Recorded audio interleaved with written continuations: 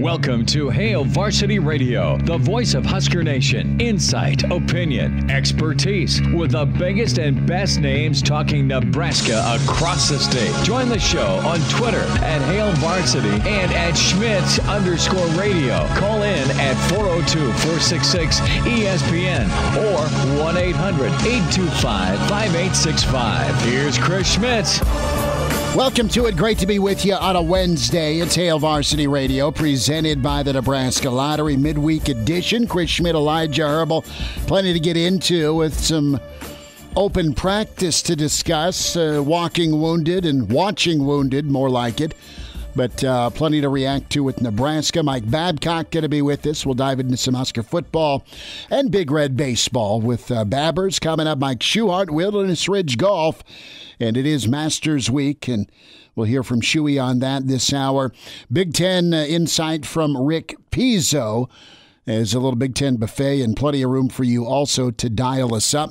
466 3776 466 3776 800 825 5865. Can uh, find us on Twitter. Give us a follow. Chris Schmidt at Schmidt underscore radio at Herbal Essence for Elijah Herbel. And uh, always email Chris at HailVarsity.com. So th- there are some themes here with this spring practice, right? We talk about optimism. We talk about excitement. Uh, you're going to be able to go if you can get us some tickets, and I still think there's tickets available for the spring game. You have an older team, and a lot of that is because of guys coming back with that super senior tag. So you've got experience, guys that have been through it time and time again, not just with spring ball, but uh, a, a, lot of years in the Big Ten that are going to be back to lead your defense. You've got some younger guys that are are really high level recruits that seem to be doing well. Turner Corcoran's a guy that that comes to mind, right? That wow, you, you got a good one and it's just a game, but he continues to impress. Ty Robinson, we'll hear from him. He's uh, he's a guy that was a high level dude that is is adding uh, to that experience belt, so to speak, and you know what, you feel fine about certain areas. But Elijah, we'll hear from Scott Frost as he took uh, about three minutes or so after practice today to to touch on you know some of the guys that are out we, we've hit on it this week and it's been on our mind. You know, how does the Nebraska offense get better?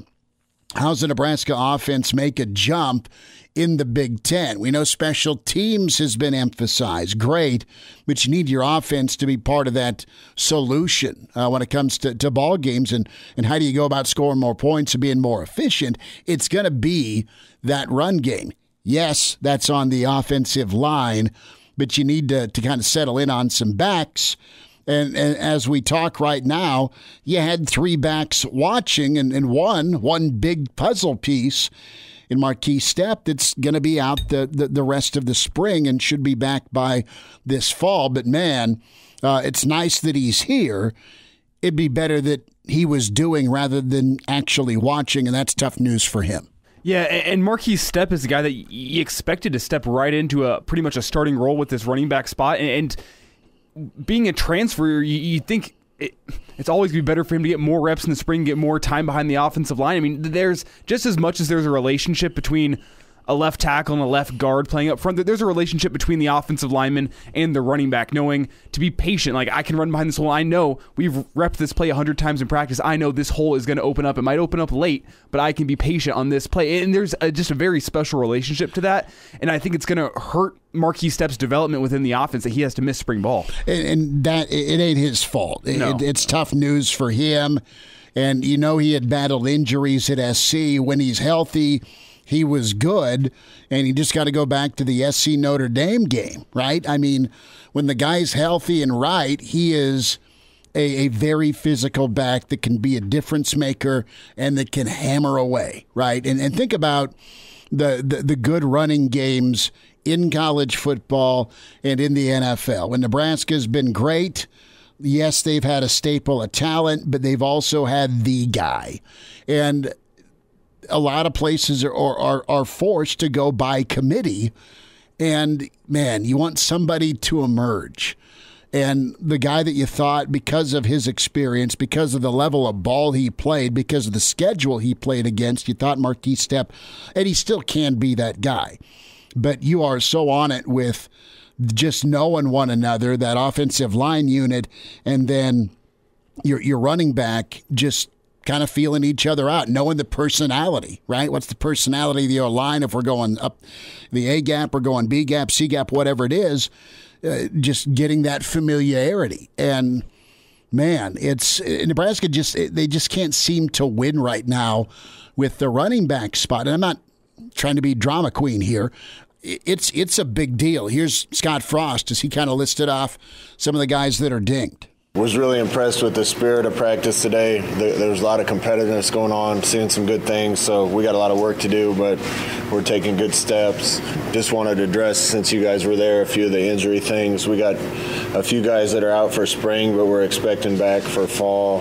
Stille, Stepp, Mueller, uh, with Tucky, Douglas, um, and Buford. I had to have a surgery. Are going to miss the rest of spring, but we expect them back. The rest of the guys are out, just kind of normal spring ball bumps and bruises and things of that nature. So should get them the rest of everybody back uh, relatively quickly. So a little bit more on on Markese Stepp here from the head man. He's out for the rest of spring. He'll be back fall. Uh, but it's an injury thing that uh, he didn't know he had, and he showed up to us with. So, listen, th- that that's tough. And I know that you go back to 2019, Stepp dealt with a lot of turf toe issues at SC. Uh, you have to have a surger, surgical procedure. I'm not going to dive into to playing, you know, doctor here, but I don't know if it's something that started with a, a, a turf toe that grew into something worse because you're not giving yourself time to rest, right? You're you're constantly putting some some some weight and some mileage on that right foot. And, and, what I know about turf toe is it would sound. I mean, he's made it through the first couple practices of spring. It sounds like, which is consistent with a turf toe, mm-hmm. in which you show up first day you feel fine, next day it's a little bit sore, day after that it's more sore, and then you realize, you know what, got an issue here, and we got to get it dealt with. That, that's what makes sense here, considering he did play in the first couple or did participate in the mm-hmm. first couple practices. Right, and, and he's a guy that you know what he's tough. He's going to grind through it and just try and do his thing. And the best case now was to have a procedure done, and there you go. Uh, you'll be ready for the fall. You'll be ready to be back during the summer. But uh, that's that's just it hurts right now when it comes to to getting the reps. And look, he's ran what Nebraska's going to ran. He's carried the football with the same play, the outside, the inside zone. He's he's done that a thousand times in his life. But you talk about the translation it's different language from USC to Nebraska. It's not the same title name uh, for the same play you've run since high school. Last thought here from Frost on on Stepp with that return date. He was asked about it towards the end of his, his quick media session. He'll be back this summer. So uh, again, this is something that he didn't know about. We didn't know about when he came in, and it gets in his best interest to get it fixed to give him uh, the best chance to be at his best. So okay, so the the reps that Stepp we're going to have now go where? And as as we look at the the list of guys out today, and I don't know how long uh, Rahmir Johnson has been out. He was in street clothes today. Uh, I know Sevion Morrison, it, by reports, wasn't there. So that's two backs. You feel you, you hear good things about the potential for Morrison. Rahmir's been in the program a while, and he's a guy based on his experience, could take some, um, could take you know a next step in this offense because he had he had a nice game against Iowa. That's not a pushover team to to get a touchdown against, right? But you have such a small sample size with the rest of these backs with the stable.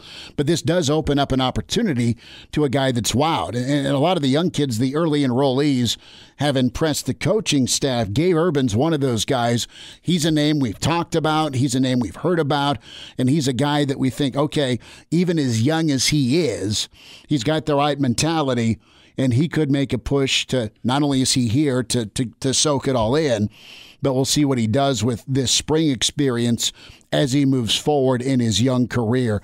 Coach Frost touched on on Gabe Ervin and what maybe he could do. I, I got to say, overall, our our newcomers, uh, guys that should still be in high school or transferred here, I've been really impressed with. Um, Gabe Ervin is definitely one of the leaders of that. He just has an approach like a pro. He acts like a grown up, gets in the huddle and encourages and competes. And overall, you know, that group of guys that came in here new, I'm seeing a lot of really good things from.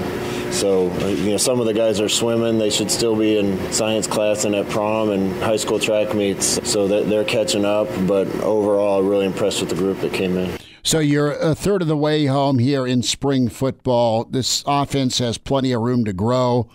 Uh, just some of the observations, checking in with the folks from Hail Varsity. I did not get to go to practice this morning. I was finishing up my shift on KFOR, which is fine. You saw a lot of deep balls. You saw kind of a wow moment from Zavier Betts uh, getting by uh, Joseph for a for a big time score. Uh, some mixed reviews on on the the passing, not necessarily on Adrian per se, but you saw more work uh, with the, the the deep ball part of the offense. That's good, but with this run game, man, to to to alleviate a lot of the pressure on the quarterback and to open up what you want to do with that deep play action, you need to find a running back, and they have dudes on campus, but you need them available and it, it's just one day. You hope things clear up for the rest of the running back room, and you get to see more reps and more practice out of Rahmir. Same with Morrison. The good news is, though, is you got a guy like Ervin that seems to get it even at an early age to help contribute to this. Right now, it's unsettled. Yeah, but I'd say look back at the the Nebraska running backs who have made a difference in their time here. I think back to Rex Burkhead, Ameer Abdullah, Marlon Lucky. Those ones I think back to in Roy my Helu, lifetime. right? Roy Helu. They were all making impact as a freshman, redshirt freshman type player, mm-hmm. which is which is early in their career, and and you could see early on, ah, this guy's got it. I remember Ameer Abdullah's kickoff return touchdown, even when he wasn't getting reps as a running back. It kind of saved everyone's ass against Fresno State. Yeah, and Rex Burkhead was getting was getting reps as a freshman too. Uh, seeing the field out, he no, he wasn't starting uh, at that time, but he was at least he had a role. Reps. He had roles. I, am pretty sure he had a rushing touchdown or two that season. So you you could see that these guys had what it took to be the running back at Nebraska, and, and I haven't seen a guy specifically stand out in my memory that's on the roster right now that I went ah, this guy's got it. I mean, you had the flashes from a guy like Rahmir Johnson. Mm-hmm. Um, we've heard good things about Gabe Ervin. I'm excited to see him in the spring game, but I'm waiting for that guy to, to pop off the or uh, off the screen and, and say and make me say, yeah, that guy's got it. That, that guy's got the speed I'm looking for. That guy knows how to hit a hole. I'll, I'll say this though: we have not seen enough of a sample size. I'll say it again because what did you see last fall? Right? You, you, saw a little bit of Scott, and then you didn't see much of Scott, right? I mean, minimal touches. You saw a lot of Rahmir on the road against Maryland two years ago. You saw him a little bit against Iowa. Didn't see Morrison at all, you know, due to due to some COVID stuff. And and what did you have last year? I mean, you, you had a, a running game that was good, but you had a dinged up Mills. And when Mills was fine, Nebraska seemed to be fine. But I mean, Mills tried to gut it out with a with a knee issue. So you have recruited guys on paper that are pretty high level performers. You've won some recruiting battles. You get a grad transfer and Markese Stepp, and and what happens? You you have a situation where he's dinged. But let's just go back to, to being snake bit for a moment at the running back spot. You inherited Ziggy, right? And and he really just kind of forced his hand as he kept grinding and had a great senior season. He's still in the league. He's still with Jacksonville. But but Bell didn't pan out. Mo didn't pan out. You've got some guys that are on campus that you're waiting to. I don't think it's a talent issue. I really don't. But I think there's a high bar to to emerge uh, to play running back at Nebraska, and, and that's okay to make that the ask to get. Uh, the majority of the carries. And even back to this offense, they've used different guys for different setups, right? It's not been a one two punch like the Falcons had during their, their Super Bowl season, or it wasn't a Roy and a Rex punch, or it wasn't a, a Rex and an Ameer one two, right? So I don't know that Nebraska's got a guy at, at that level on campus that you alluded to, but they've got guys that are beyond serviceable uh, when you look at the, the talent in the room. You just got to see it now on the field, and they got to be available. They got to be available on the field, and it seems like the injury bugs have been feasting here this spring. Yeah, and I'm going to bring this all the way back around to Stepp because I, I, think back to, to two years ago, Dedrick Mills didn't start off the season strong, but as he got more reps with the offense, as he got more just carries, more comfortable, uh, more more comfortable, he started figuring out the offense. He started, as I said, learning that offensive line uh, and, and forming the relationship with them. And I wondered maybe if, if Stepp got a spring, he could have stepped right into that role early in the fall and be there. But now we're going to have to to wait and see whether he's going to be able to step into that role right away in the fall, or if it's going to take some time to get the uh, the relationships built. Well, it's going to take him a being healthy, not re-injuring, yep. you know, and and then what work can you do on your own with your crew during the summer so you can kind of hit the hit the ground running in the fall. There's still time. It's not panic time with with Stepp's injury, but it, it is a it is a big time setback for that running back room because he's the guy that you felt good about, and then you could figure out where Ervin's at, and then the rest of the crew that's been here Morrison, Johnson, uh, Thompkins, right? Thompkins is has elite ability despite some injuries, and they got they got to find a way to keep him on the field and, and healthy to go because you've seen him sparingly. We'll dive into some Husker baseball, more spring football thoughts. Mike Babcock coming up at Hail Varsity. We're presented by the Nebraska Lottery. And now. And now, back to Hail Varsity Radio. Some thoughts on the Masters coming up. Mike Schuchart, Wilderness Ridge. Some Big Ten takes from Rick Pizzo.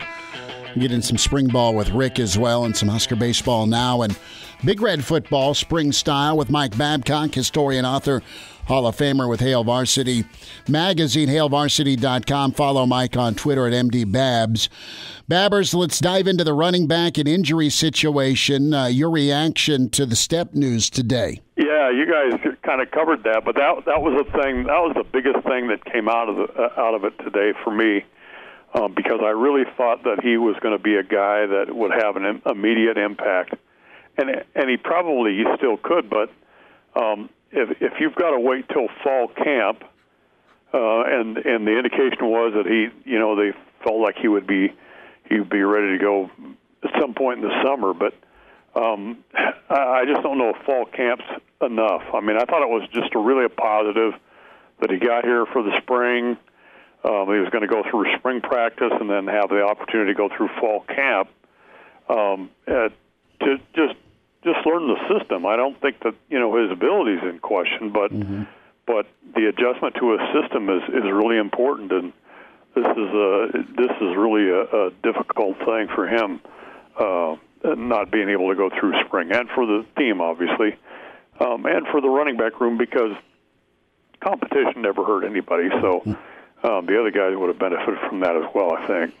No, you nailed it. And, and in your time covering Nebraska, and Elijah and I kind of look back to, you know, the, the last great here. And we, we, we talk about Ameer, we talk about Rex, we talk about Roy, and even going further back to the Weebacks, Brown and Calvin, and uh, I look at Kenny Clark and Keith Endzone Jones. I mean, you can go through three decades and beyond of just dudes Solich had uh, in the running back room, and then even going through the different head coaches, right? I mean, Nebraska's always had a back to carry the mail or two or three. And I want your take on just the the development. What what's what are the the snags that occur from getting a guy on the field that okay, wow, he's fast, he's elusive, he can he can uh, shake and bake side to side, and man, that second step he can get, he can accelerate. So we know that the traits of a high level athlete carrying the football, but it, it just feels like there's there's a lot of hurdles to getting on the field, and then just getting lathered up to to get consecutive carries. Well, yeah, and you know we've seen.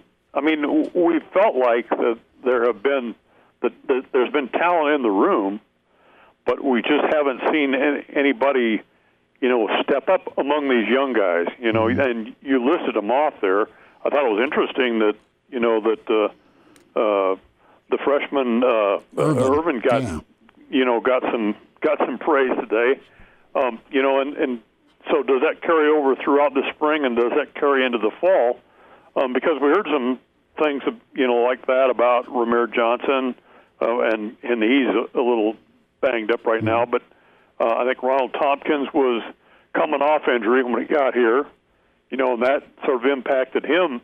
Uh, Marvin Scott, uh, the third, you know, he had some uh, he had some opportunity, but then you know, like you said, it kind of faded away. Uh, Sevion Morrison didn't play. It seems like there, there's talent. Somebody somebody needs to step up, you know, and and we just haven't seen that from the young guys yet. Even though there's a there, there's obviously a lot of competition, or there should be a lot of competition in the room if everyone's healthy, and that's the thing that that is kind of a, a head scratcher to me. Although you look at the way offenses have have evolved from the time that we're talking about, you know, that where the I back was just totally the focus of the offense, and that was kind of the emphasis of it. It's not quite the same now with the offense, and uh, you know, you, you even see it at all levels. You see it in the NFL. I mean, running backs are less of a priority. It, it all becomes the quarterback. Mm-hmm. You know, you start with that, and then you work down from there. But uh, uh, I, I think that's a, there's an element of that too in the college game. Probably is that it's not quite the same as the time that if you go back far enough, but but certainly Nebraska needs to have. I think needs to have somebody, uh, despite the amount of talent there, needs to have somebody that can step up and take the majority of the carries and, and sort of set the tone. Mike, when I look like at the history of the Big Ten, I mean the, the Big Ten running backs through history, those those powerful downhill running backs. I mean the, the perfect example that would be Ron Dayne uh, back in the day at, at Wisconsin, and, and, now I see you know a variety of different backs finding success in the Big Ten. From I mean even at Wisconsin itself, it seems like they have a different style of back uh, every single year. And you saw that this year at Ohio State with a guy like J.K. Dobbins and Master Teague as, as, a backup, two different styles. Do you think that that's what Scott Frost is going for at Nebraska, or do you think he's still just trying to figure out what style of running back he needs in his offense to make it work in the Big Ten? Well, I think he had an idea of what he wanted, and I don't know if he's adjusted that idea or not. And, you know, part of that is you know, as we always talk about, part of that is it starts up front. You know, the guys up front, and I think you feel pretty good about that going into the spring um, with the guys coming back in the competition there and the the, the youth really uh, and the offensive line. But that's where it starts if you're going to be able to do that. But then you have to have somebody that can take advantage of it. So, you know, I I think that you know initially didn't Scott say something or uh, Bill Moos somebody said that Big Ten's going to have to adjust to Nebraska. I think Nebraska is making the adjustment mm-hmm. to the Big Ten, and that's probably one of the ways to do it.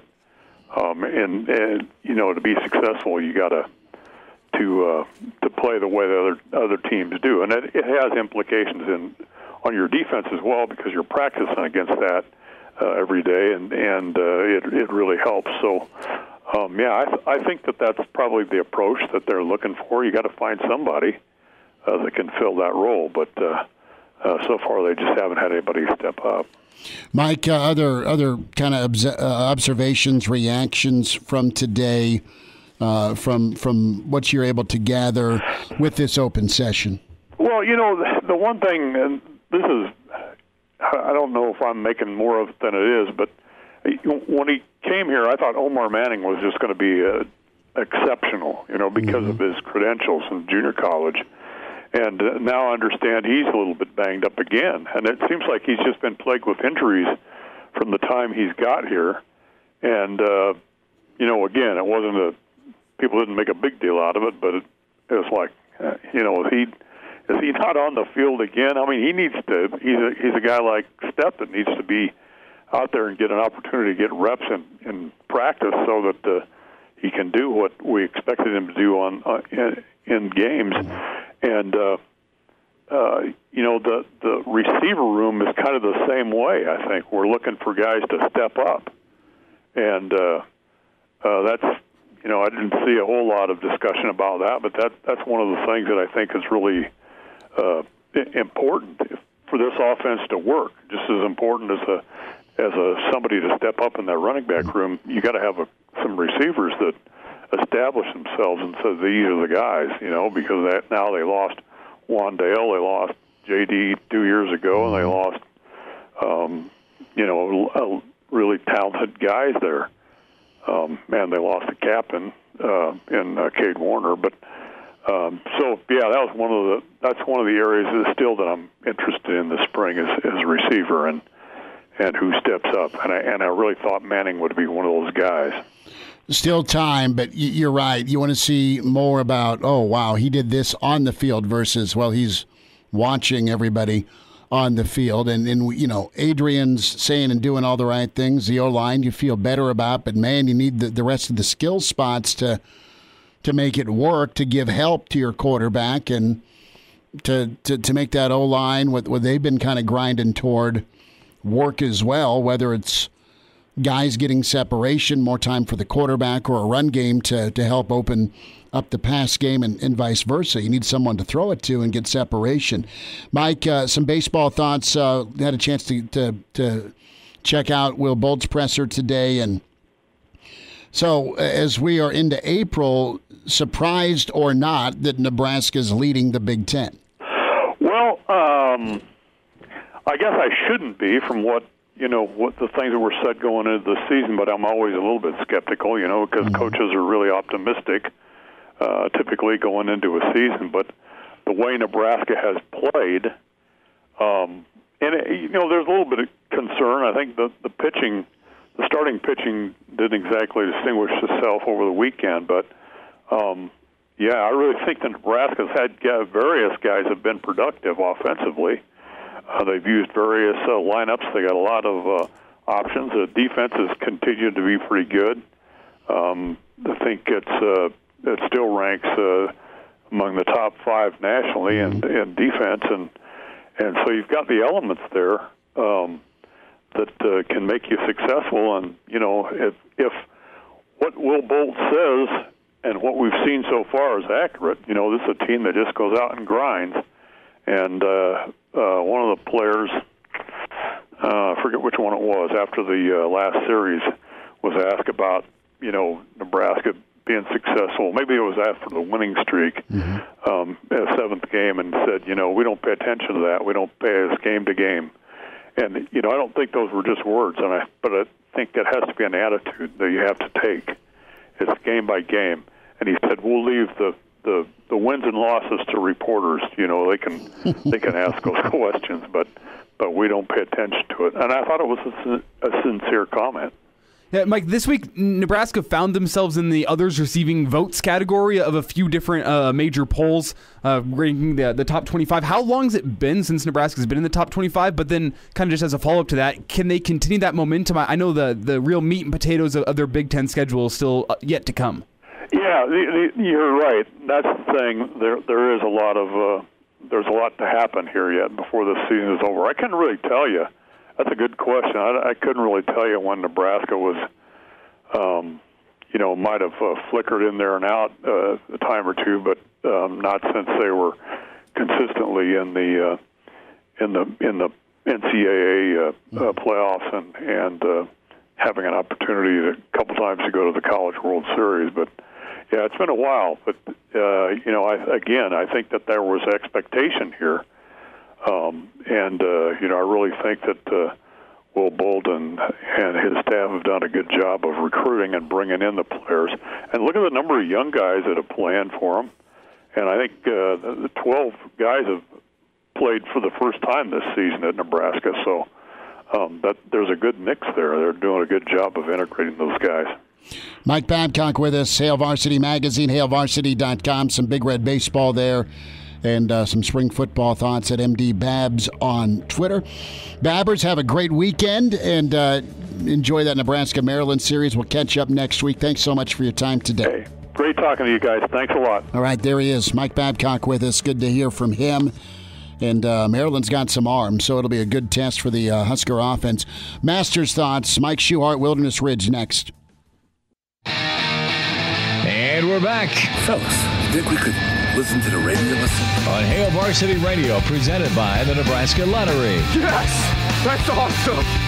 Thanks for hanging out. Hail Varsity, presented by the Nebraska Lottery. Chris Schmidt, Elijah Herbel. It is Masters Week.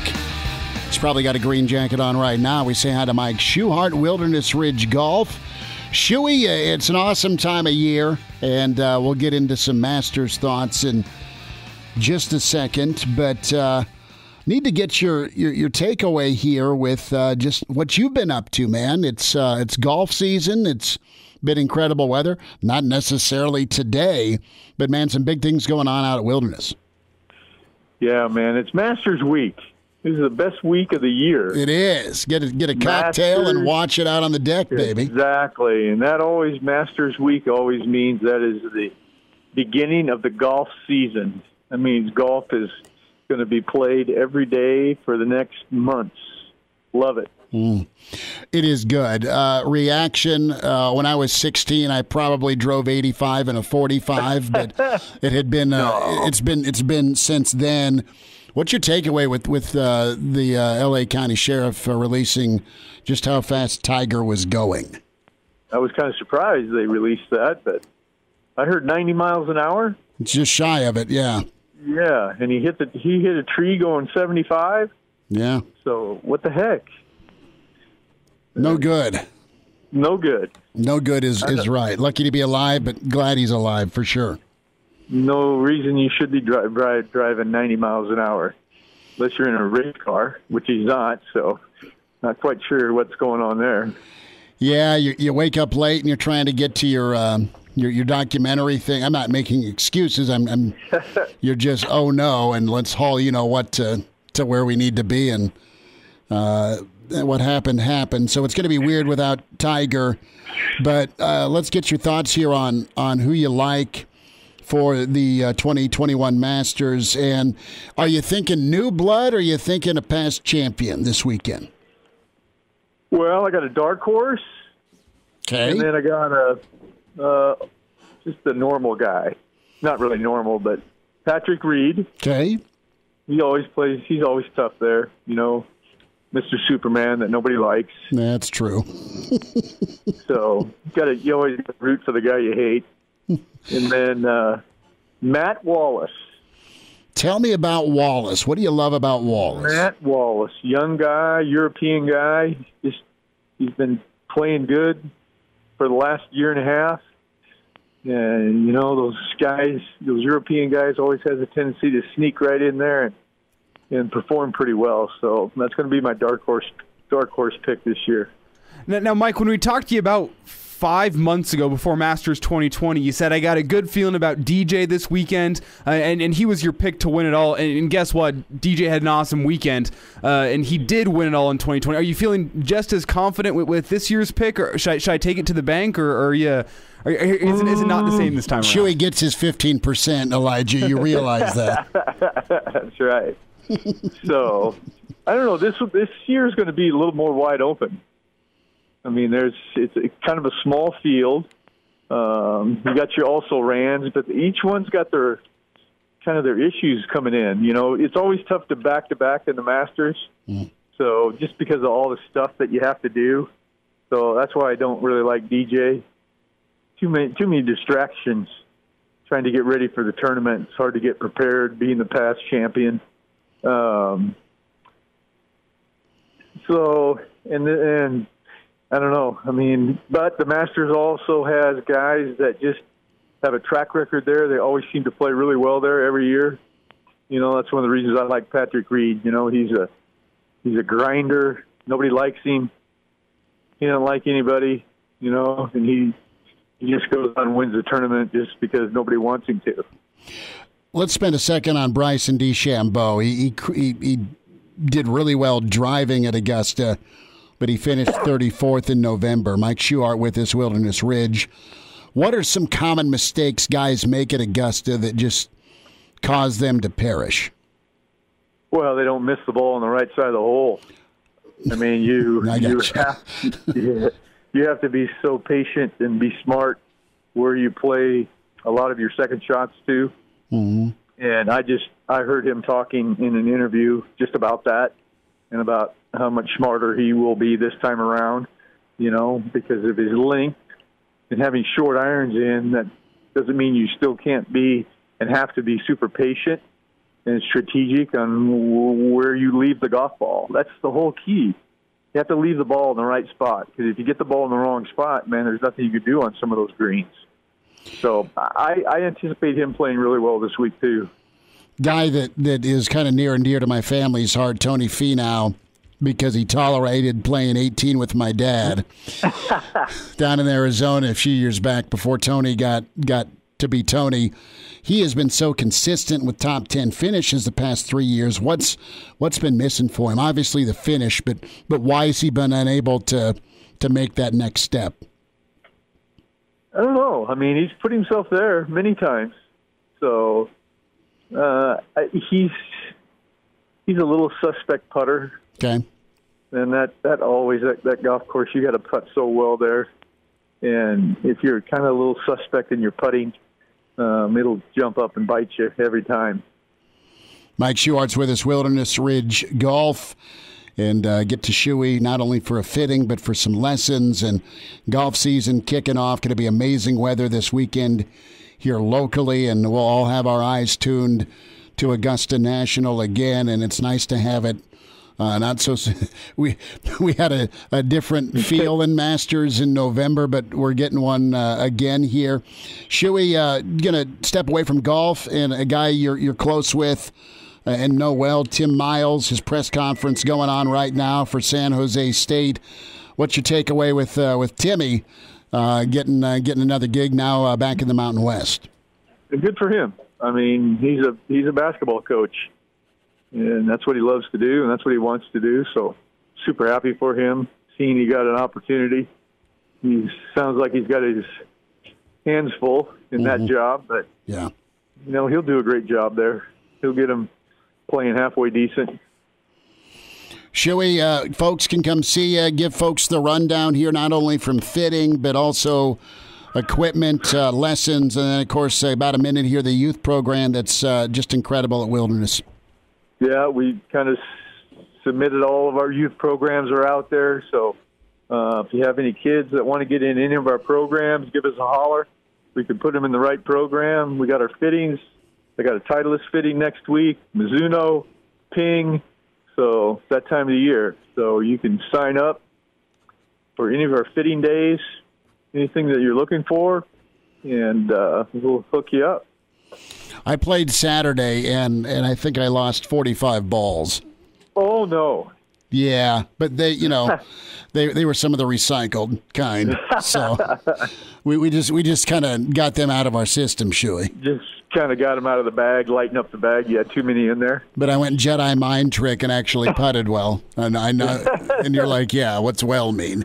I well, love well, it. You got to start doing that uh, that drill that DeChambeau was doing yesterday, just speed hitting all his drives on the the, the driving range. You see that? Yeah. yeah. I need, what was that all about? I, I don't know. I need I need I need Bryce DeChambeau's body fat. Uh, plan is what I need. Shuey, uh, enjoy the Masters. Thanks for jumping on, buddy. We'll talk next week. All right, everybody, enjoy the Masters. You too, bud. We'll Take care. next week. All right. Mike Schuchart, Wilderness Ridge Golf will wind down hour one at Hail Varsity, presented by the Nebraska Lottery. And now. And now, back to Hail Varsity Radio. 10 minutes away, Rick Pizzo, Big Ten Buffet with us. Rick's done a lot of PGA coverage in his career. We'll talk some Husker baseball with him, some spring football thoughts with Mr. Pizzo. Maybe a little wrap to the basketball season. So we'll go everywhere with him. Some thoughts from Deontai Williams coming up. Husker senior safety. Some uh, pretty telling commentary on uh, why he's back and just what uh, his expectations are. Also, some cool stuff from Ty Robinson after practice. So. Uh, some more thoughts here on Nebraska's open practice. The big topic this hour, though, you know, where's Nebraska go in that running back room with Markese Stepp out uh, until summer at least with a foot issue. And uh, you got a lot of running backs, at least today, watching uh, Nebraska's spring practice. 466 3776 466 3776 800 825 5865. Find us on Twitter at Schmidt underscore radio, at Herbal Essence for Elijah Herbel, and uh, can email Chris at HailVarsity.com. A lot of homes for sale. And uh, maybe you're thinking about making that next move, finding that next next house for your family.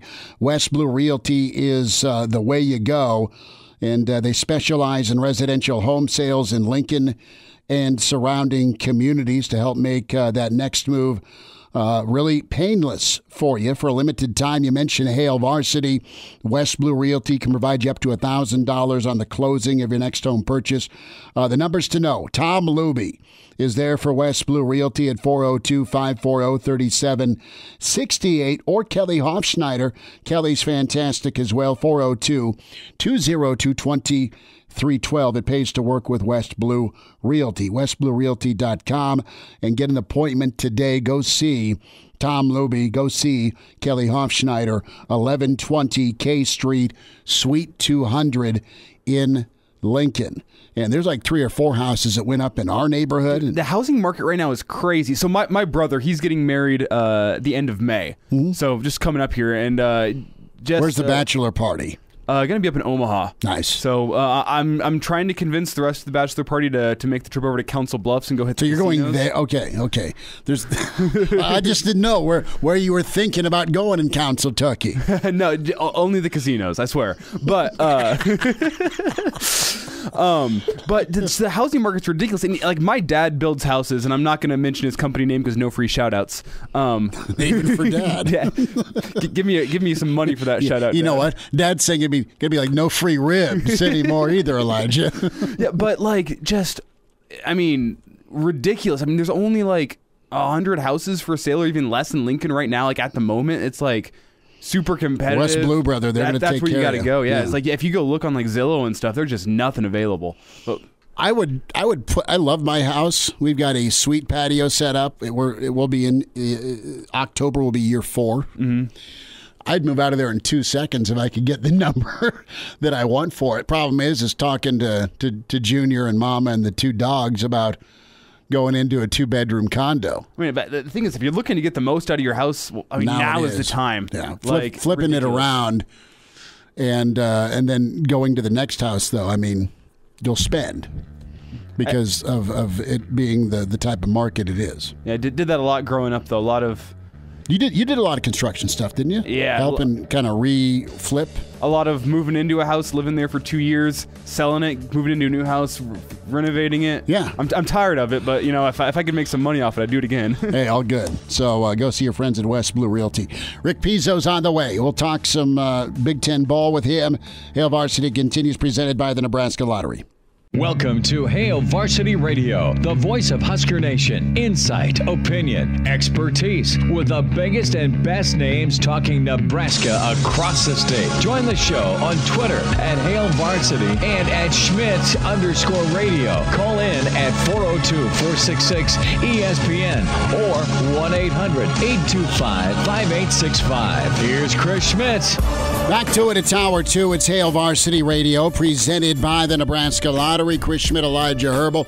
Check in with Rick Pizzo. Big Ten buffet coming up.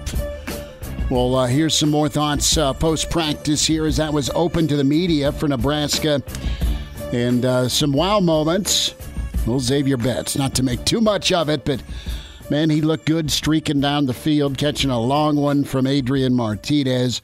But Deontai Williams and Ty Robinson, two, uh, two names to listen for here coming up as uh, they spoke about uh, the direction of the defense and some of the changes and uh, progress they uh, they want to make. Numbers to get in uh, today here on Hail Varsity Radio 466 3776 466 3776 800 825 5865. Can email Chris at hailvarsity.com.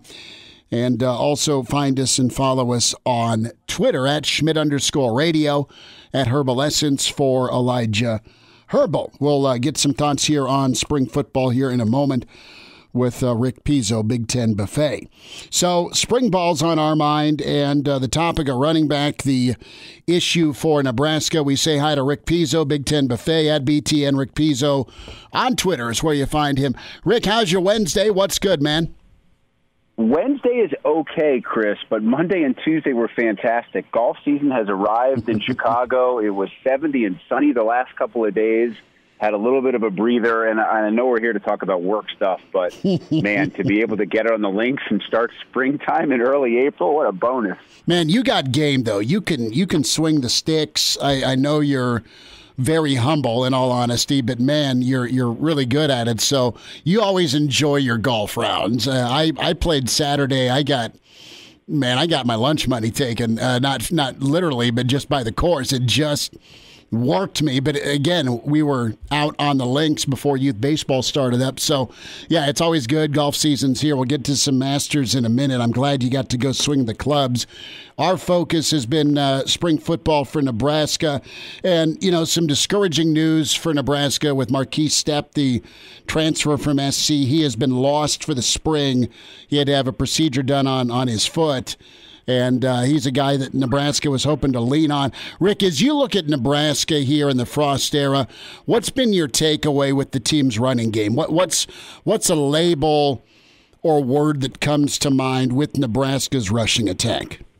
Yeah, I think it's a little bit of unknown because I think you're trying to figure out what do you want and, and what can you really expect from a run game in an offense which is going to be high tempo, high pace, put so much on the quarterback. And I think when folks look at either the run and shoot or the spread offenses, they immediately think of the quarterback and the wide receivers, and you kind of forget about the running backs. But you think about Ohio State, it's a perfect mm-hmm. example, right? They ran that spread offense with Urban Meyer, and I know you relied so much on J.T. Barrett in critical down and distance situations, mm-hmm. but think about the running backs that mm-hmm. came through. I mean, without the play of guys like Carlos Hyde and Ezekiel Elliott and Trey Sermon going for what 500 yards combined in the championship game in the semifinal, that spread offense doesn't work. So I think, unfortunately, to too many people, it's an afterthought. Now, I don't think it's an afterthought to Scott. I certainly don't think that that's the case. But you need to have a running back that can be a game breaker because then that completely opens things up for a guy like Adrian or any other quarterback who can take off when everything else is not there because that linebacker's eyes are staring into the backfield ah! because the safety can't cheat. My dog clearly agrees with me if you can mm-hmm. hear him barking outside. But that's that's the scenario that you have is – a running back needs to be the setup guy in that offense. And from time to time, like Ohio State ah! showed over the past ah! decade, the running back needs to be the star as well. Are you just teasing Otto talking football as now we're into spring man, and we're so Otto far away? Football. He is so mad that I'm as happy as I am that it's golf season. He is equally angry because that means that his guy, who's usually outside throwing the ball within hours a day, the links hours a day, and he's kind of sitting there with the ball in his mouth with nobody to throw it to him. And clearly, that's not nearly that's all right. No, it's good to, to get Otto on the show. As many years as we've done this, I mean, uh, Otto's felt left out, so we're getting Otto some some airtime on Hail Varsity. No, you're right, and, and Nebraska they've had a feature back. I don't want to say that they haven't in the Frost era because uh, Ozigbo really had a, a, good finish to his career. And when Mills was healthy and they gave him the football, man, he did well against some pretty high profile teams. But Nebraska right now is trying to find that next guy. And Rick, as you look at some of the other programs and you just hit on Ohio State, I mean, Iowa's had good run games. Michigan State, when they've been rolling, they've had a, a, a back. Uh, and and I look kind of down the, the rest of Wisconsin. Clearly, I mean they, they always find a running back to, to lean on. Can you can you go as far as you want in the Big Ten with running back by committee? You can, but not at the schools that you mentioned. Now, you mentioned Iowa, Michigan State, Wisconsin, right? Mm-hmm. So when those schools were having great success, and Iowa, Wisconsin still now, they're not running the same kind of offense that Nebraska wants to run. So those schools, I don't think, could have quite as much success running back by committee. I mean, now there are exceptions. I mean, when Wisconsin has you know Montee Ball and mm-hmm. James White right. and Melvin Gordon on the same team, as Nebraska fans know, and you run for a million yards in the championship game, then sure. now at Nebraska, I actually think it can work if you're able to have other guys that can do multiple things. And unfortunately, the departure of Wan'Dale, I think that's a guy. You have that Percy Harvin mold, right? And I hate to again, I'm harkening back to an old Urban Meyer team but that Florida team had some good running backs and really good quarterbacks, but they also had another guy that you could spread out and move. And I think that's what Scott really wants. Mm-hmm. He wants to have a couple of guys, a running back or two running backs by committee, but also have that kind of player, that flanker, wide receiver guy who you can put in the backfield, who you can put out wide, because that confuses defenses. It covers up a lot of mistakes. It covers up perhaps an inequity on the line. It covers up a quarterback that's not having a great day. I think that's really why that departure hurts so much because it would allow a play caller like Scott to do so many different things if you have that in place for a couple of years and you're able to complement it with a running back, even by committee, if those guys aren't hurt. Rick Pizzo's with us, Big Ten Buffet, Hail Varsity Radio at Rick at BTN Rick Pizzo on Twitter. Rick, uh, you know what's what's the jump you think you're going to see? And I know it's spring ball, but you're going to see from Adrian. Well, it has to be seismic because I think we expected a jump after year one, and that was perhaps maybe it was unfair, Chris. Honestly, mm-hmm. I think he was so good, and I think Scott put a lot of pressure on him, maybe too much, and I think we did too. Mm-hmm. And then I think then you get into a year where you're having competition, which I think is really good for quarterbacks. Now, I didn't necessarily love the way the competition was handled last year as far as this starts yours, this starts yours, we're going to go back and forth. And I understand there's always competition and there's always motivation in that. And Scott knows his players much better than I do. But now it's your team. Now, again, there are no questions you are going to be the guy. You have guys around you now, and you have this system memorized. So I think, and I think you would agree with this. The problem last year was that inconsistency where you'd see one game and you'd say, "He's got it. Mm-hmm. It's here. This is what we are going to see for the next year and a half." And the very next game, it disappears, mm-hmm. and you're scratching your head saying, "How can this be the same guy I saw at Purdue playing against Northwestern? They're two different guys." Mm-hmm. So I think that's what you need to see. You need to see the same guy week in and week out, and maybe not looking over the shoulder makes a difference this year. I think you're right on with uh, okay, freshman year, big wow, and then you've got expectations, and you feel those expectations.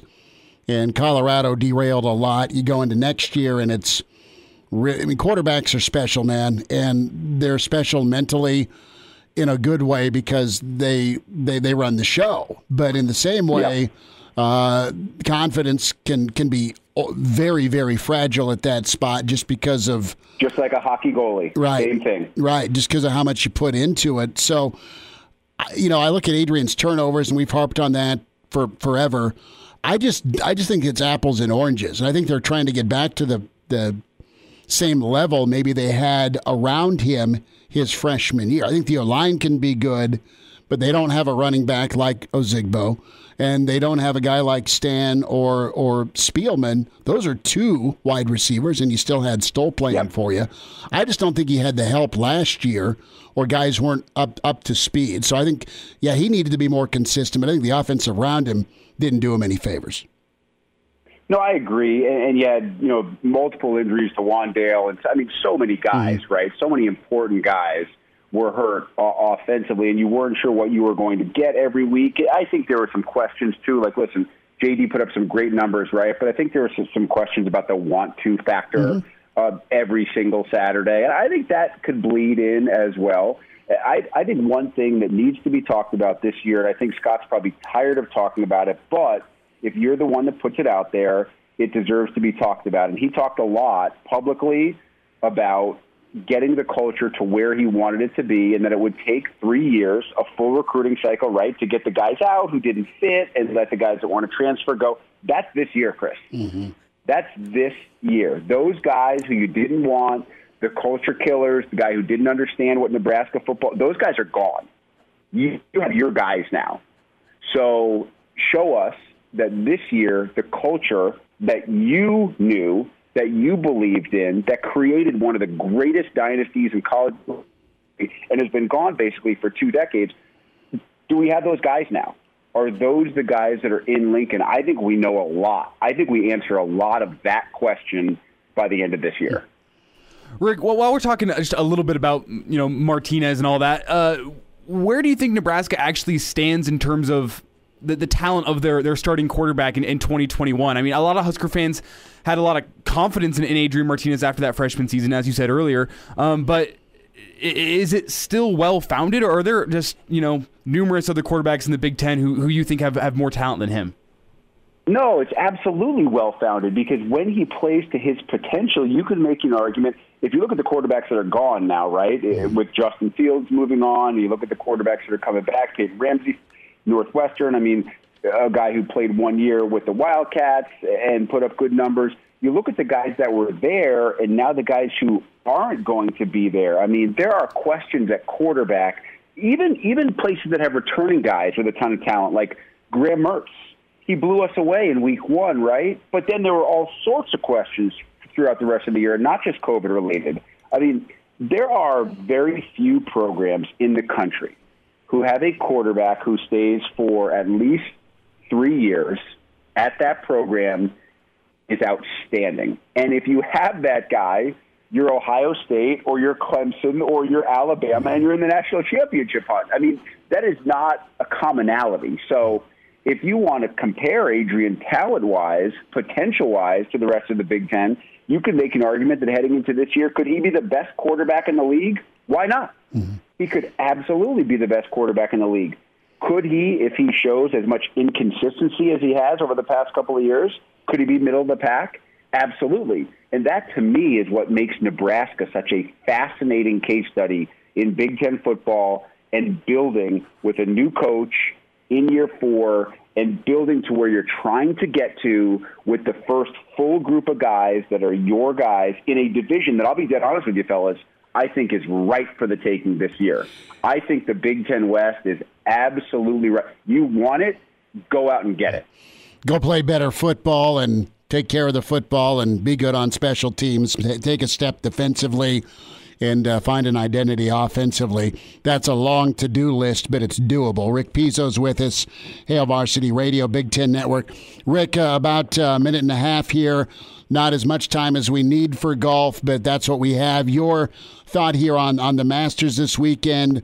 Give me a win, give me a place, give me a show.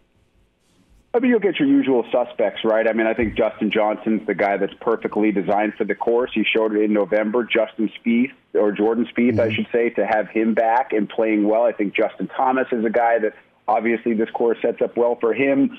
If I'm going to give you a couple of dark horses, mm-hmm.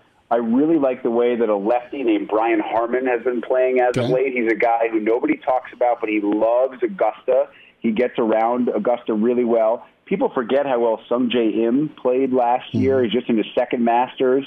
Young guy out of Korea, but I think he is a phenomenal player, and I think he has a very good chance. But at the end of the day, man, it is really hard to pick against Dustin Johnson the way that he's playing. Uh, I know that a lot of folks say Bryson DeChambeau can overpower this golf course.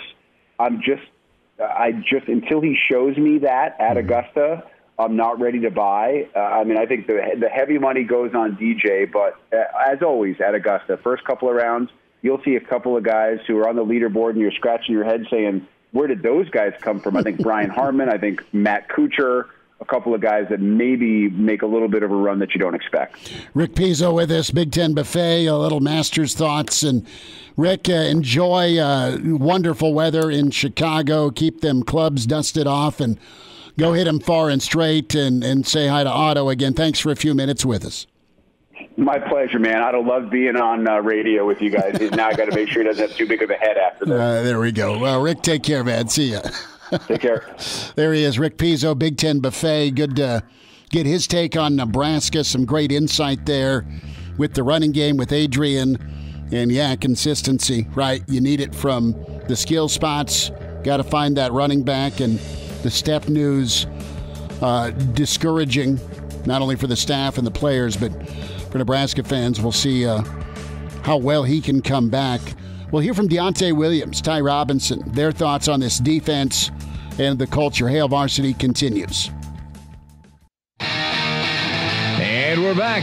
Fellas, think we could listen to the radio listen? On Hail Varsity Radio, presented by the Nebraska Lottery. Yes! That's awesome!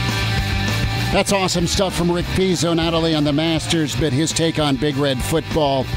And uh, can find that ESPNLincoln.com, also at ESPN Lincoln on Twitter, the on demand sections podcast. Give us a follow, give us a like, give us a, review. And uh, we're daily here, Hail Varsity Radio, but it's uh, posted by Elijah and the crew at Hurrdat immediately following the show. So uh, if you catch us on your time, that's all good. Uh, Spotify, iTunes, or Google Play, where you can find the Hail Varsity Radio podcast and just a slew of really awesome podcasts. Greg Smith, Derek Peterson, Erin Sorensen, Brandon Vogel.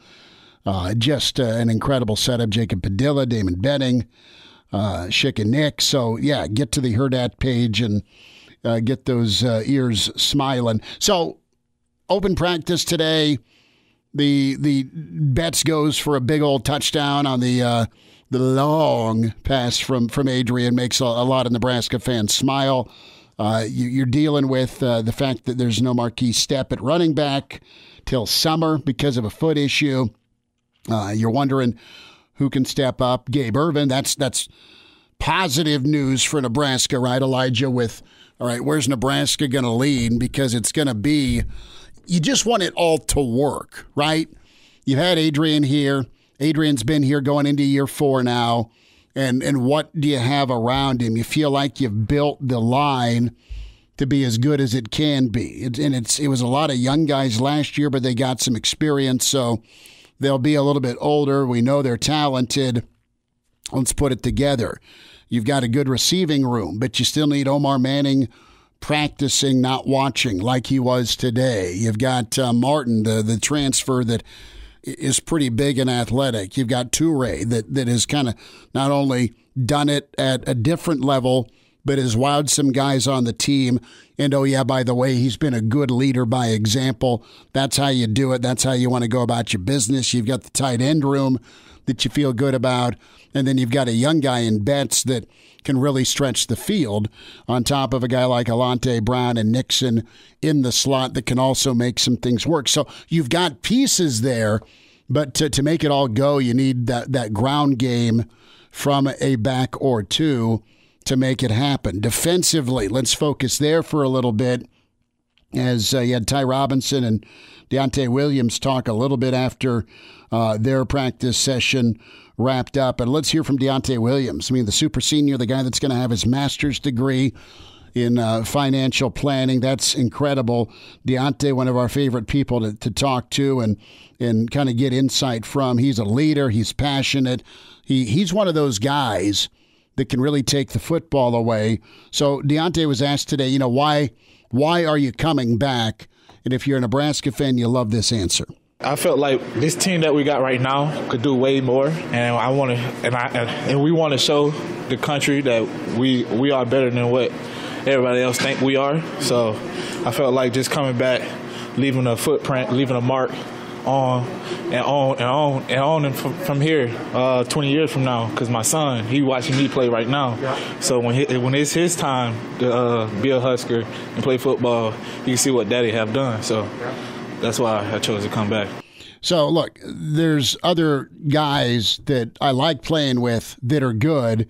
We feel like we're on the verge of something. Let's let's pay it forward. Let's really set the tone and and really be something special. Those are all great reasons to come back if you're Deontai Williams, and it's really selfless. I mean, he could have been picked or signed a deal in the NFL. He's a good enough athlete and uh, there's enough film on him to to get a look, right? And we go back to Russ Lande, the NFL insider, former scout, and he's like, look, he thinks there'll be three to four Nebraska guys picked this year.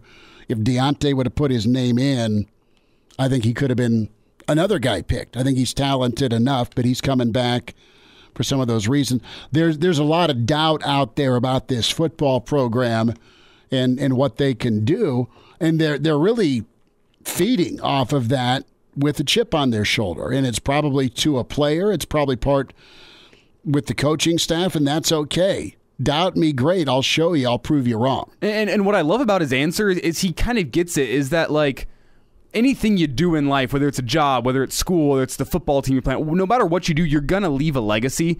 And and, and he's saying, I want my legacy to be a good one, not a bad one, um, and not a forgotten legacy, I guess, because regardless of whether or not the team wins next year, he's still going to leave his legacy being here for six years. There's a legacy that he has left, and he's saying, if I'm going to put in all this work, I'm going to make sure that my legacy is a good one. I, I love that. That's the mentality I want in, in the Husker football team. You know, there's doubt, and when it comes to you know what what are the expectations here of Nebraska, Deontai's like, look, people probably think we're five and seven, six and six, seven and five, and more from Deontai here specifically, kind of that leadership role and what he said. Again, the culture word comes up.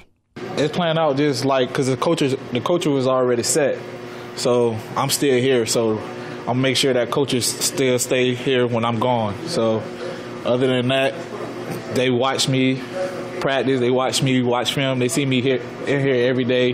They know that it's just not gonna come to you. You gotta work hard every day, day by day. I'm good. I'm talented. I got to bring it every day. That's important. I think Nebraska's recruited well. I think they've brought in a lot of talent. What's the mentality with some of that talent then that's been brought in? Is it let's go do this every day, or this will just be like high school where I can out athlete everybody? And that ain't how it works in, in college football. That is not how it works in the Big Ten. Guys got to learn that. And some guys learn it at different points in their career than others. If you got a guy that's doing it by example and also feels comfortable enough to be vocal, I have no worries about the secondary because of their position coach and the guys they've got in that room.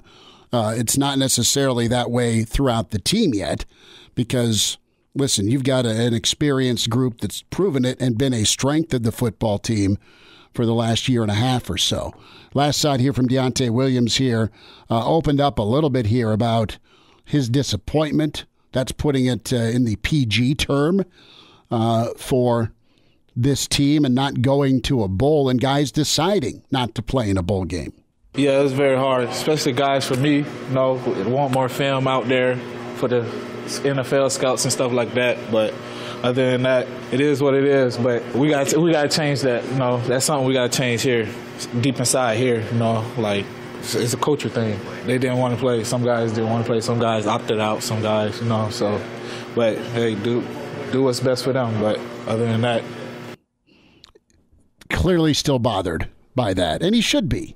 I mean, personally, he wanted to showcase against somebody. He hadn't been to a bowl game yet, and some guys were just like, "Yeah, I'm good," and and that that has rubbed a number of guys, competitors on this team, wrong, and they're still taking it with them. Yeah, and it's I, I, I get both sides of it. Like as a UNL student, it, it was a tough semester last semester, and and by the end of it, all I wanted was to be done. But if I mean, just to use my life as an example. If you would have texted me and said, "Hey, the Huskers are playing in a bowl game. You want to come down and watch the bowl game?" I'd be like, "Hell yeah, I will. I'll come do a show. I'll come do all the work necessary to come down and do that." It's been since the Music City game. yeah, you're, you're working on a bit of a drought. Yeah, I don't care if I got to go down there and sit in a hotel room for two weekends and uh, like whatever it takes. Like I want to get down there and I want to a do this show mm-hmm. because it, it, it's what I want to do. These guys want to play football, right? Mm-hmm. So go, go, yeah, go play in a football game. Go get some more experience and get another another challenge of the way. Whenever it's clear that you know your boss, quote unquote, your head coach wanted to go play. Let's hear from Ty Robinson a little bit here, and, and he's a guy that playing at a high level. And uh, Robinson spent some time kind of uh, recalling what you know what what he has gathered, what he has learned uh, through that uh, that first season in the Big Ten. Last season, yeah, that uh, takes 11 to play defense, takes 11 to win, uh, and then takes 22 to win a, a, football game. You can't just have one side of the ball doing good and the other side not good enough. So I learned that teamwork's the best thing, and then we've actually seen that out in the practice too. I mean, we're just becoming closer and closer together, and we're actually starting to make plays, and we're, we're starting to glide off each other. It just looks smooth. It looks really good. It's, it's, a, lot, it's a lot more fun too. So just a better feel here, and, a lot more fun. I like that. Yeah, well, football can be fun, right? Says uh, uh, says Coach Herman Boone. Football is fun, right? Right? Uh, yes, sir. No, sir. Yes, sir. Uh, no, the grind isn't, but the reward absolutely is. Uh, more from from Ty Robinson here, and the expectation for that that D line group uh, and the urgency to take a jump. Yeah, and I, I think that's possible. I mean, some some might think it's a big jump, but for me, I see it as just a normal jump. Uh, it's just it's just the thing we do. I think it's the way that our culture has been changed. It, the culture is finally becoming to what it what they've been saying it was in the beginning. it's all here. We finally got all the right pieces, I think, and it's only going to get better from here. So you're going to see a totally new uh, team next year. Last thought here from from um, Ty Robinson here on you know why guys came back and what that adds to the defense. I think they saw the potential of this defense. I mean, I feel like I, even though Ohio State didn't look good, our defense played freaking phenomenal for the first game against Ohio State. I mean, it only got better from there. Yeah, we had a hiccup against Illinois, but I feel like after that, all that one incident, I feel like every game we we came to battle. And I, like I said earlier, it doesn't take 11 guys; it takes all 22 to win a game. So I didn't have the the Williams comment in there. I'll, I'll try and find that for tomorrow.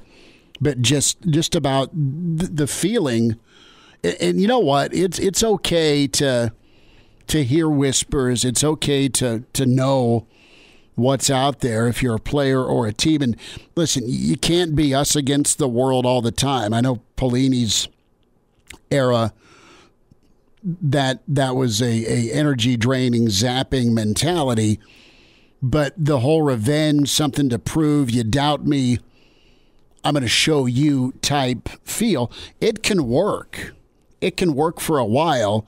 I just don't know that you can live on it. But if you're Nebraska and you're going into year four and you failed to meet your own expectations, and you you know you've got some guys that, that are getting it or now do get it, it's it's okay to, to dig into what you got to dig into to to get the best performance. I, I'm not going to judge on okay, well, you don't think we can do it. Well, screw you. I'll show you.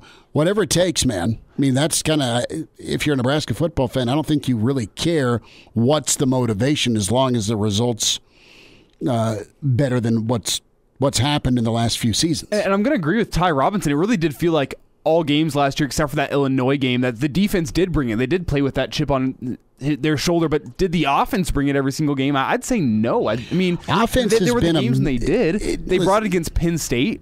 Uh, they brought it, I'd say, against Rutgers, but did they bring it in seven other games that year against Northwestern? They didn't bring it. Iowa, they brought it for like a half. Well, they they brought it for yards, but not points, right? I mean, the offense is offense and special teams got to got to get it together. They're working to do so. Hail Varsity continues Wednesday edition. We're presented by the Nebraska Lottery.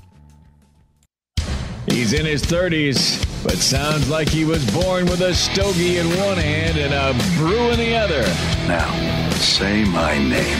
It's Schmitty on Hail Varsity Radio. I got the body of a taut, preteen Swedish boy.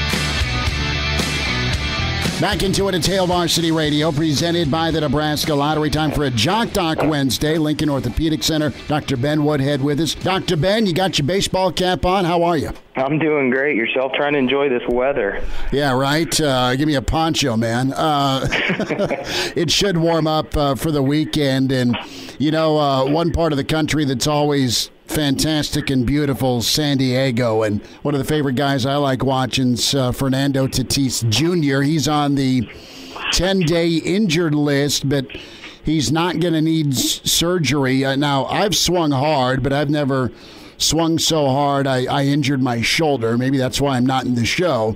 But let's uh, let's dive in a little bit here to, to what exactly happened with Fernando Tatis Jr.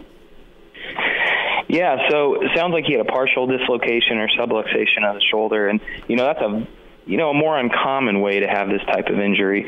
Um, usually it's more of a contact type of injury. Oftentimes with wrestling, football, arm kind of gets caught in an awkward way above your head and you'll kind of sublux out. But um, those guys swing with such vicious force that he obviously swung enough to where um, subluxated his shoulder. So a little more of an uncommon type of way to, to way to partially dislocate your shoulder, but um, certainly can happen nonetheless.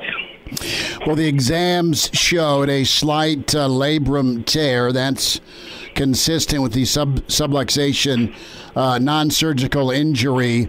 So when we talk about the the region of the shoulder, and I'm just trying to go through it in my in my mind here after the swing as I also as I watch it. He exited in the third inning, and you know when when we when we line up at the plate and dig in and, and take our hacks, it's it's a fluid motion, but there's so much torque generated that I, I, I guess I can see this happening. You laid out as to to how it's a, a little different, but uh, tell me a little bit here the, the, the treatment, the inflammation, and when it comes to just continued stability with that shoulder.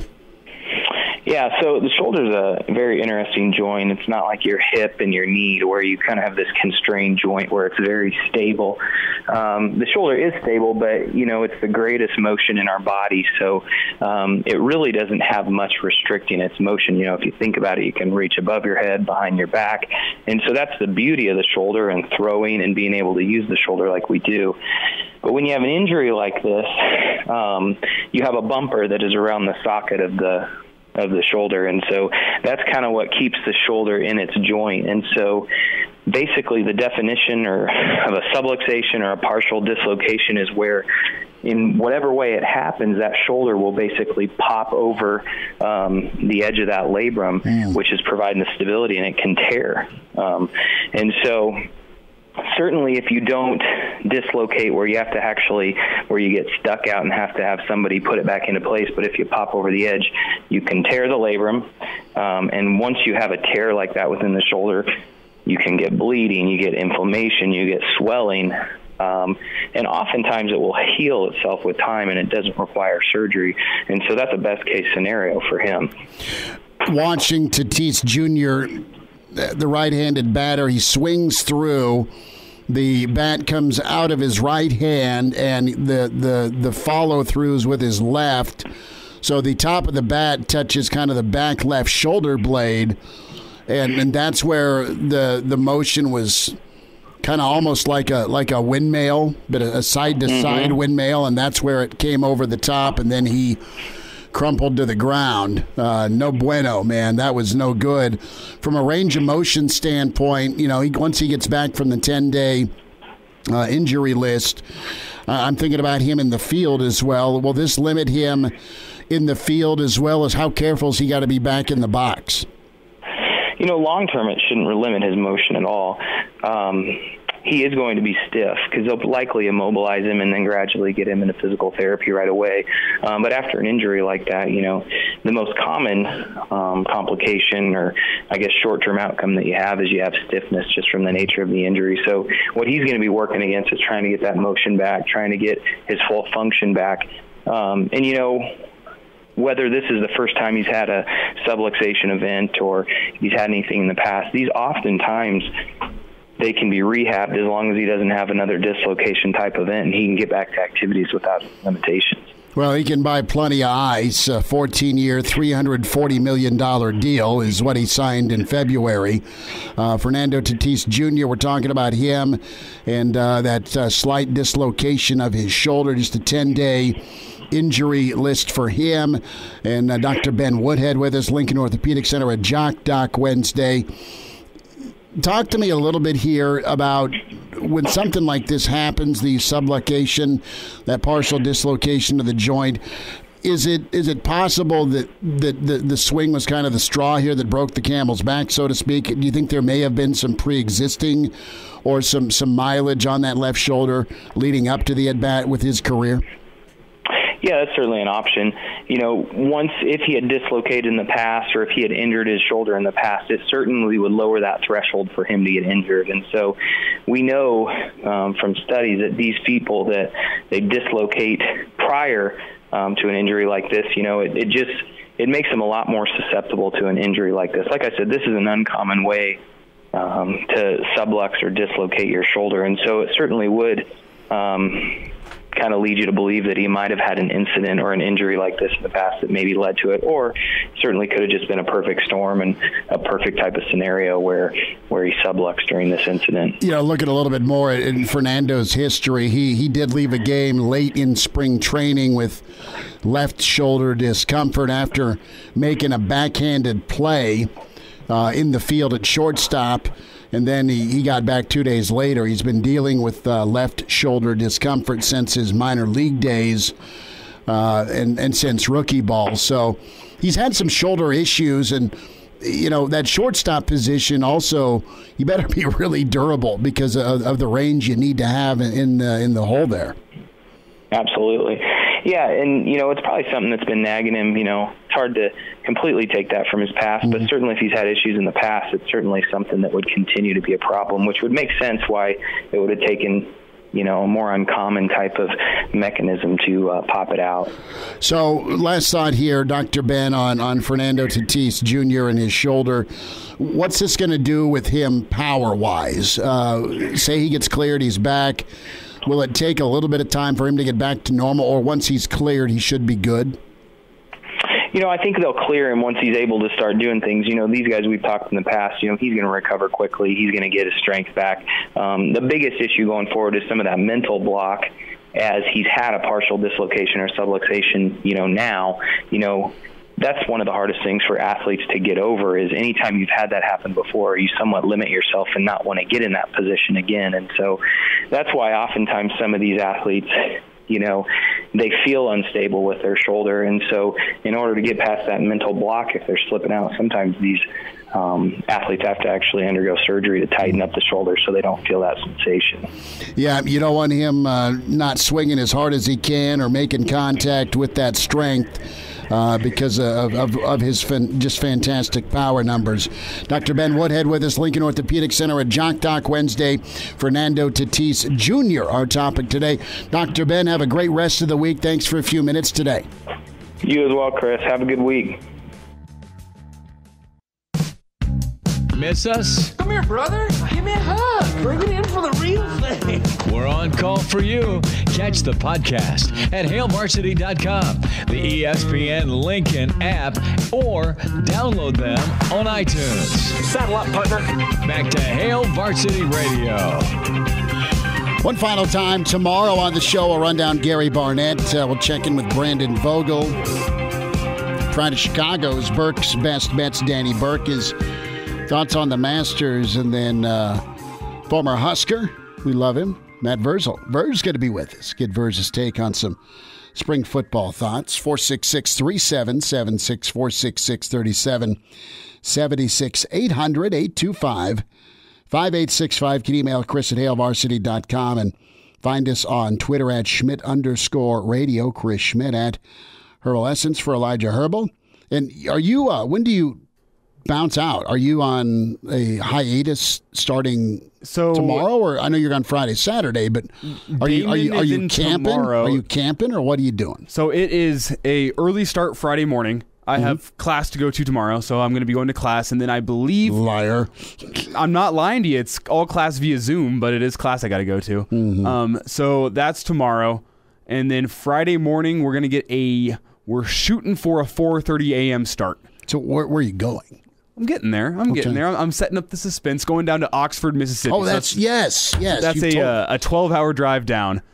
So, so, you are voluntarily driving to Mississippi, but you are going to uh, a lovely spot in Mississippi, Oxford. You, yeah. see, you see some baseball. Yeah, and it's uh, probably going to be one of the best baseball series in like the country this year. It's going to be number two Ole Miss or number three Ole Miss, one of the two, against number two or three Arkansas. So it's a top five matchup.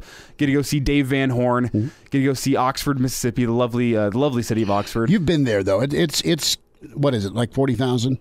Uh, it's a little. I, would say it's forty thousand in like during summer break, whenever all the college students go home, and they get up to about sixty thousand, I think, during the uh, during the year. And it's a, it, it's not like a, a, Hastings or a Grand Island. It's definitely a bigger field than that, but it is. It's very much, very much so a college town.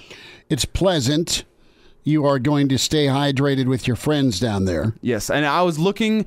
Unfortunately, Masters tickets are way out of my price range this year um, because well, they're so limited. limited yeah. yeah. sounds like your baseball seats are nuts. Yeah, but the baseball seats aren't. It's right now. Uh, the general admission tickets are going for like seventy or eighty bucks a pop um, because it is such a good matchup and because uh, they also have limited capacity down there. Uh, so, still trying to get uh, the the eight of us that are going down uh, a uh, a, a, seat for each of us in the student section for at least one of the games. I, I think we're gonna all have seats in student section for Saturday. We're uh, still trying to get seats for Friday night. Then Sunday we're just not going to go because we're going to be watching the Masters. But no, that's fine. That's all good. Should be a good weekend. And then Monday we're back on the road, twelve hours back here, and I should be back here. I, have talked with Damon whether he wants me to fill in for him on Tuesday after he does mm-hmm. like all sure, weekend, sure, sure. but no, dude. I mean, get get plenty of pictures and have a good old time because you've been down for football before, right? Uh, yes, didn't actually make it into the football game, but was down there for You, football. you were at the Grove. Well, yeah, they didn't bother to buy a ticket. And this was two years ago when Ole Miss was terrible. That's so. fine. No, you you did what you needed to do down at Ole Miss, and, and you, which means you tailgated. Mm-hmm. Now, did you pack a sport coat? Did not. Did not. Okay, Uh, that's fine because people dress up down there. People do dress up down there, but that's all like the frat dudes and like that. That's I, I stay away from the frat culture. That's fine. It's whatever works. You got a mustache rocking. You can do what you want. hmm Uh, the, the only problem is we we have a little. I was like going down. I'm like, oh, we're gonna have nice weather down in the south. We got rain in the forecast. Well, you'll still be uh, in Ole Miss country. Uh, reminder to buckle up here. 70% of people in fatal crashes in Nebraska not wearing a seatbelt. Uh, 60%, I tell you what, uh, reduce that uh, risk of fatal injury by buckling up. Brought to you by the Nebraska Department of Highway Safety Office. We'll talk to you again tomorrow.